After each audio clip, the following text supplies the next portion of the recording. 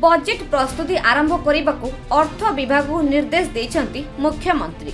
ଚାରୋଟି ବିଭାଗର ସମୀକ୍ଷା କରିଛନ୍ତି ମୁଖ୍ୟମନ୍ତ୍ରୀ। ବିଭାଗର କାର୍ଯ୍ୟକାରିତା ସମ୍ପର୍କରେ ବିଭାଗୀୟ ସଚିବ ମୁଖ୍ୟମନ୍ତ୍ରୀଙ୍କୁ ଅବଗତ କରାଇଛନ୍ତି।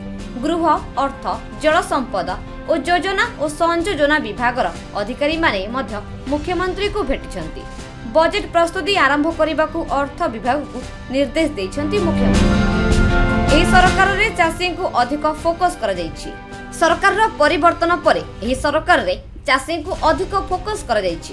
ତେଣୁ ଚାଷ ଜମିକୁ ପାଣି ଯୋଗାଇ ଦେବା ଏବଂ ମୌସୁମୀକୁ ଆଖି ଆଗରେ ରଖି ପ୍ରସ୍ତୁତ ରହିବାକୁ ନିର୍ଦ୍ଦେଶ ଦେଇଛନ୍ତି ମୁଖ୍ୟମନ୍ତ୍ରୀ। ଏହା ସହିତ ଲୋକମାନେ କିଭଳି ଭାବେ ବିଭିନ୍ନ ଯୋଜନାରୁ ଉପକୃତ ହେବେ ତାହା ଉପରେ ଧ୍ୟାନ ଦେବାକୁ କୁହାଯାଇଛି। ନିର୍ବାଚନ ସମୟରେ ସରକାରୀ ଦଳ ପକ୍ଷରୁ ଜାରି କରାଯାଇଥିବା ଇସ୍ତାହାରକୁ କିଭଳି ଭାବେ ପୂରଣ କରାଯିବ ତାକୁ ଅନୁଧ୍ୟାନ କରି ଖସଡ଼ା ପ୍ରସ୍ତୁତ କରିବାକୁ ନିର୍ଦ୍ଦେଶ ଦେଇଛନ୍ତି ମୁଖ୍ୟମନ୍ତ୍ରୀ ମୋହନ ମାଝୀ। ଚାରୋଟି ବିଭାଗର ଅଧିକାରୀମାନେ ସୂଚନାମୂଳକ ସାକ୍ଷାତ କଲେ। ପ୍ରଥମେ ହେଲେ ଗୃହ ବିଭାଗର ଅତିରିକ୍ତ ମୁଖ୍ୟ ଶାସନ ସଚିବ ଏବଂ ତାଙ୍କର ଅଧିକାରୀଗଣ। ତାପରେ ଜଳ ସମ୍ପଦ ବିଭାଗର ଅଧିକାରୀଗଣ କଲେ। ତାପରେ ଅର୍ଥ ବିଭାଗର ଅଧିକାରୀମାନେ ଏବଂ ଶେଷରେ ପ୍ଲାନିଂ ଆଣ୍ଡ କୋର୍ଡ଼ିନେଟ୍ ଯୋଜନା ଓ ସଂଯୋଜନ ବିଭାଗର ଅଧିକାରୀମାନେ ମଧ୍ୟ ସୌଜନ୍ୟମୂଳକ ସାକ୍ଷାତ କଲେ।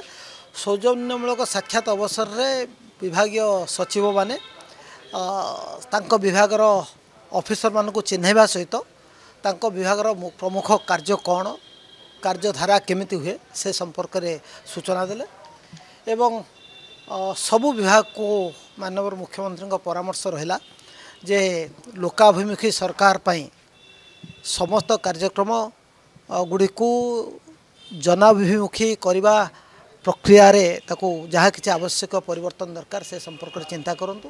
ତେଣୁ ବେସିକାଲି ଏହି ବିଷୟରେ ପ୍ରାରମ୍ଭିକ ବର୍ତ୍ତମାନ ଏହି ପର୍ଯ୍ୟାୟଟା ହେଉଛି ମାନ୍ୟବର ମୁଖ୍ୟମନ୍ତ୍ରୀଙ୍କୁ ବିଭାଗୀୟ କାର୍ଯ୍ୟଧାରା ସହିତ କାର୍ଯ୍ୟଧାରା ସମ୍ପର୍କରେ ସୂଚନା ଦେବାର କାର୍ଯ୍ୟକ୍ରମ ଚାଲିଛି। ଆଉ ରିଗାର୍ଡ଼ିଂ ଆପଣ ଯେଉଁ ପଚାରୁଛନ୍ତି ସ୍କୁଲ ଛୁଟି କଥା ଆମେ ପାଣିପାଗ ବିଭାଗ ସହିତ ରେଗୁଲାର ଟଚ୍ରେ ଅଛୁ। ଏବଂ ସେମାନେ ଆଜି ମଧ୍ୟ ଦିନ ଦୁଇଟା ବେଳେ ତାଙ୍କର ଯେଉଁ ରିପୋର୍ଟଟା ଆସିବ ତାକୁ ଦେଖାଯିବ। ତାକୁ ଦେଖିଲା ପରେ ବିଭାଗୀୟ ସଚିବ ବିଭାଗୀୟ ମାନ୍ୟବର ମୁଖ୍ୟମନ୍ତ୍ରୀଙ୍କ ସହିତ ଆଲୋଚନା କରି ନିଷ୍ପତ୍ତିଟା ଜଣାଇଦେବା ଭୁବନେଶ୍ୱରରୁ ଭିଡ଼ିଓ ଜର୍ଣ୍ଣାଲିଷ୍ଟ ଦୁର୍ଯ୍ୟୋଧନ ଭୋଇଙ୍କ ସହ କପିଳାସ ବେହେରାଙ୍କ ରିପୋର୍ଟ। খবর ওড়িশা